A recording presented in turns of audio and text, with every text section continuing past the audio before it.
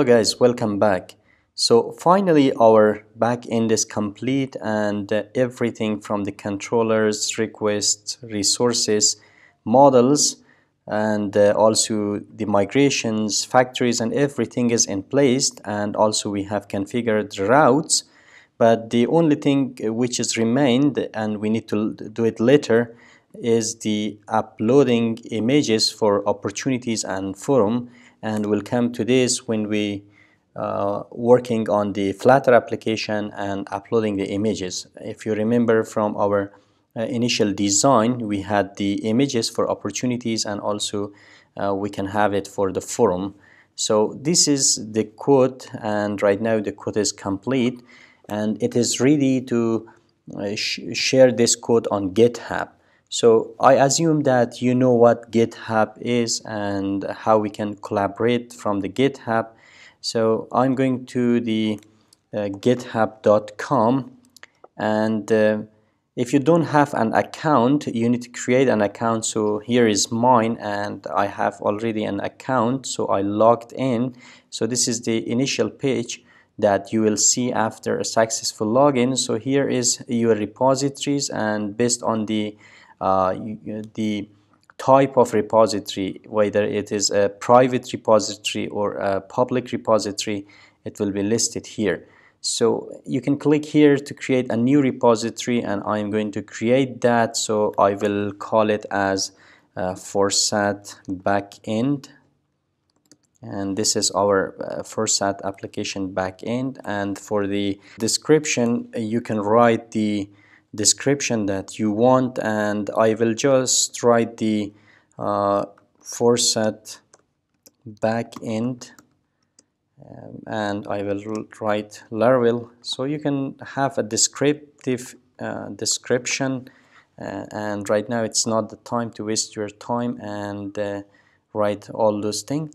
And here is the mode which is public and private you can choose and I'm going to share this code publicly and uh, I want to I want this code to be available to everyone so I'm going to choose the um, public one but if I choose one only me or the people that I allow to this repository can have access to this one. But I'm going to choose the public one and right now you can have a readme uh, so I'm not going to tick this one and I'm going to click on the uh, creating repository. This will take a little bit time based on your internet connection and right now everything is ready. So I have this repository created and here is uh, you know the uh, what you can say the help that uh, you can uh, use to just uh, post or to just store your code on this repository from the command line and also here is the uh, what we can say the URL to this repository. So here first of all what you need is you need to install the git. And uh, if you're using the Windows you have something called git bash. And uh, you can download it. Here it is uh, there. I think it yeah git download git scm so this is the git that you can download it for the windows and uh, currently for the mac i already have it. If you don't have you can download it. And after that what you can do you can have this git command available to you. So already i have it so i'm going to my on my php storm. If i write git you can see i already have this command that's why it's coming. So first of all i'm going to just type git init and you, you can see here we have initialize empty git repository.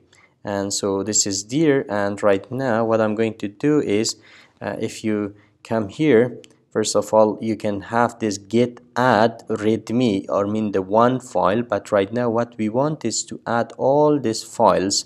So I'm going to do it like this git add star. Star means this repository whatever it is inside that and uh, make sure that here you have something called git ignore and uh, whatever the files or the what we can say the directories that you have inside this git ignore will not be added in the repository. So if you want suppose this dot styles whatever it is to not be added suppose the style looks something like that so you can add it here so this will not be uploaded uh, to the repository.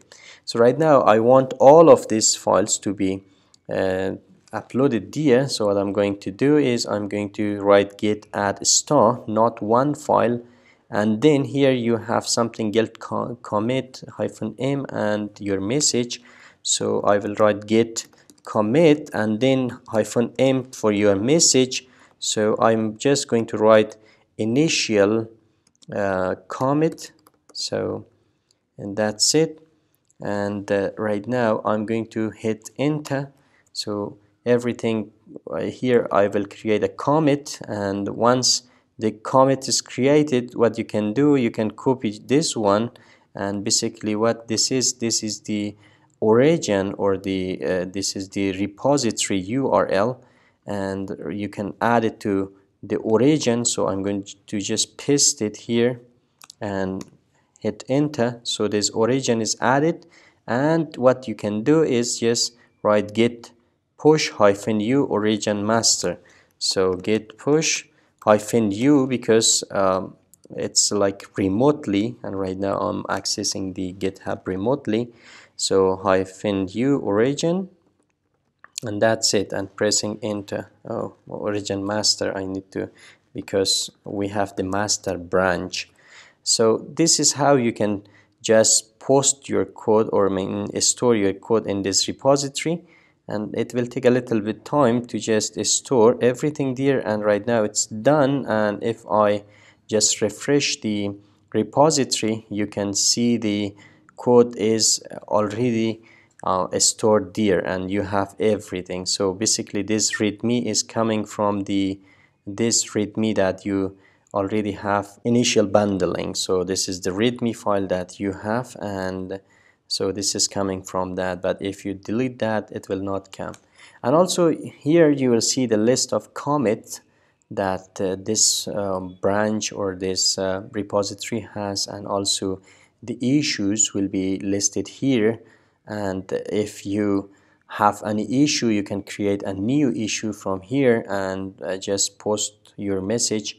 So and also uh, what you can say if you just collaborate or if you make some changes you can have a pull request and based on so the the one who has right can merge it. And also we have everything here that you can just go and see so this is uh, the code and I will uh, share the link with you. You can just get it from here or download a zip file and uh, you can have access to this code so thank you for watching and in the next video we are going to start with our flutter application